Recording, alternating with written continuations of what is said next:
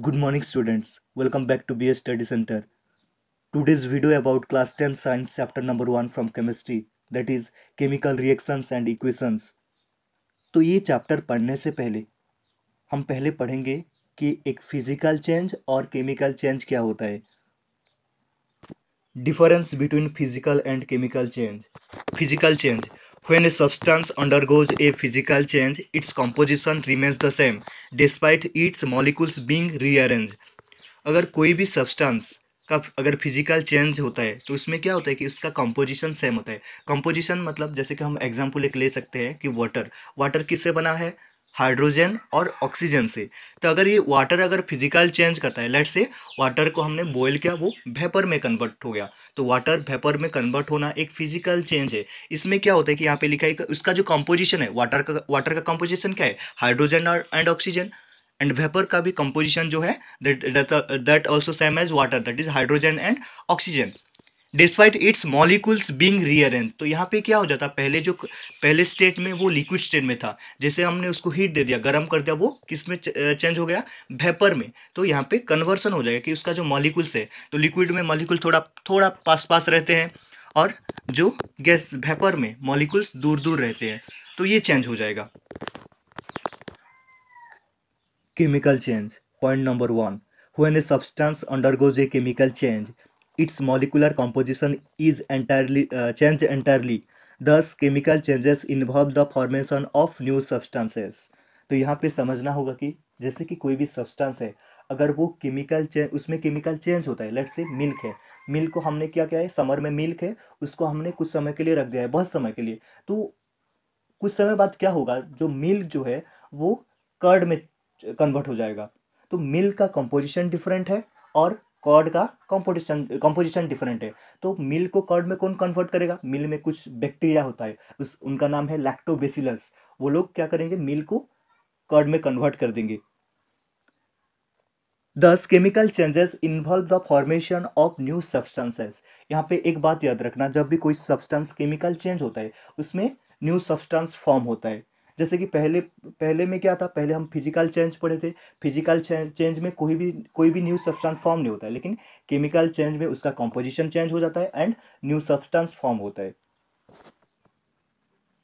Physical change point number two physical change is a temporary change तो physical जो change होता है, वो टेम्पोरारी होता है। कैसे?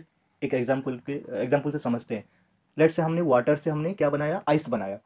तो आइस को फिर हीट करके हम क्या बना सकते हैं? वाटर बना सकते हैं और थोड़ा हीट कर देंगे तो वो फिर से वेपर हो जाएगा। वेपर को फिर कंडेंस कंडेंस कर देंगे, उसको ठंडा कर देंगे लिक्विड हो जाएगा। एक ऐसे साइकिल टाइप का चलता रहेगा। तो ये जो चेंज है, यहाँ पे सभी जैसे कि वाटर आइस में कन्वर्ट होना, फिर आइस वेपर में कन्वर्ट होना, ये क्या एक फ़िज़िकल चेंज है?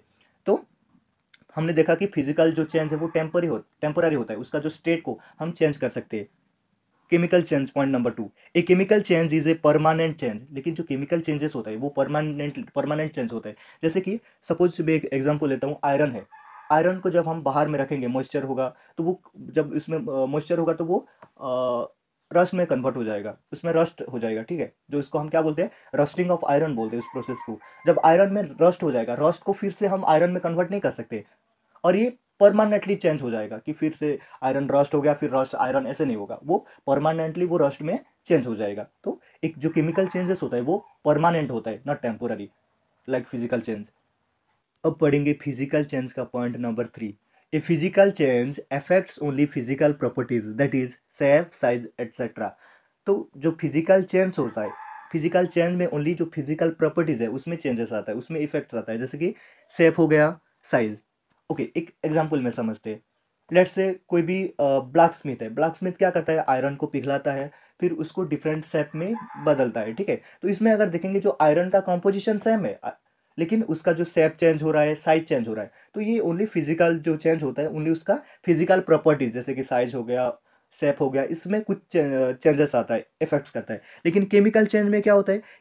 Chemical change both physical and chemical properties of the substance including its composition लेकिन केमिकल चेंज में क्या होता है? केमिकल चेंज में उसका जो फ़िज़िकल प्रॉपर्टी भी चेंज हो जाता है केमिकल प्रॉपर्टीज़ भी चेंज होता है, और उसका जो कंपोजिशन है, वो भी चेंज हो जाता है। जैसे कि आयरन आयरन क्या हो जाएगा? रस्ट हो जाएगा। ये तो हमने पहले पढ़े हैं अभी थोड़ी देर बाद।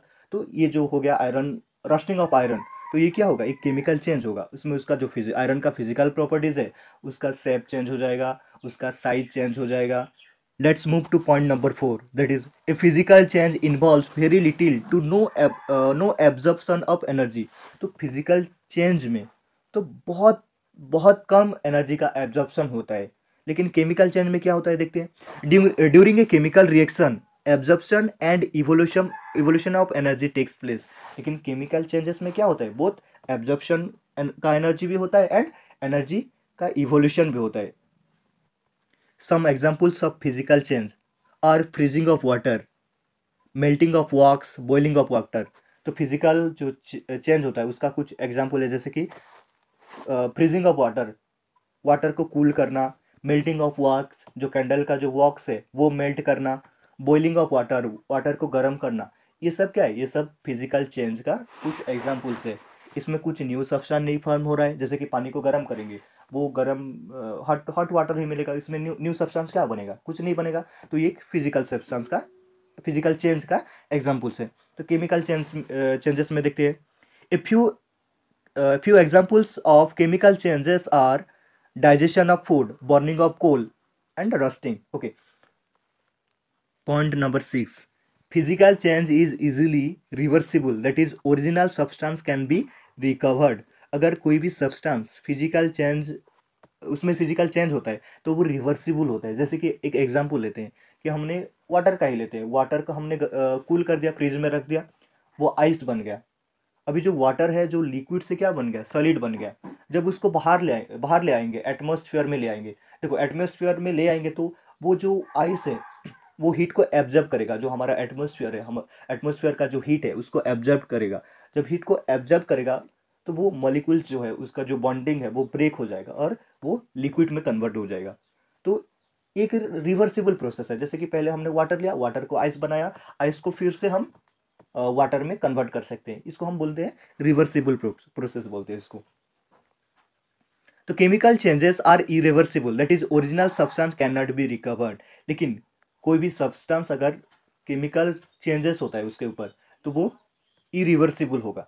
एक एग्जांपल लेते हैं। एग्जांपल क्या लेंगे कि हमारे पास लेट से एक पेपर है। पेपर को हमने जला दिया। तो पेपर को जब हमने जला दिया, हमको क्या मिला? न्यू सब्सटेंस फॉर्म हुआ। एस मिला। पेपर का जो एस मिला।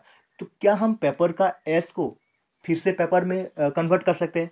नहीं कर सकते। इसीलिए जो केमिकल चेंजेस जो होता है, वो इरिवर्सिबल होता है। तो हमने पढ़ा कि फ़िज़िकल चेंज और केमिकल चेंज क्या होता है? और उनमें डिफरेंस क्या होता है? अगर आपको ये वीडियो अच्छा लगा हो तो ये वीडियो को लाइक करें, अपने दोस्तों को शेयर करें and subscribe my channel thank you for watching